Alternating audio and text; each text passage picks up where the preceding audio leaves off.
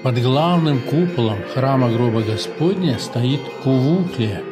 Внутри ее находится величайшая святыня христиан. Переступив порог этой часовни и войдя в миниатюрный предел ангела, мы видим сразу мраморный пьедестал с зажженной свечой.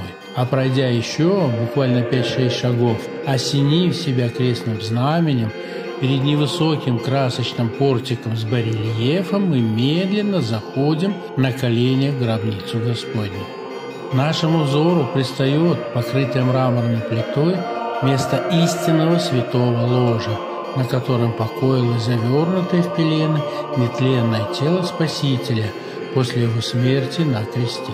Это гробница Господня. В ширину вместе с ложем и полками для свечей 197 сантиметров, а длину всего 207 сантиметров. Вокруг святого ложа на стенах иконы, описывающие воскресение Христова. Вверху закреплены и мерцают огоньками 43 серебряные лампады. Произнеся «Господи, Иисусе Христе, Сыне Божий, помилуй меня грешного!»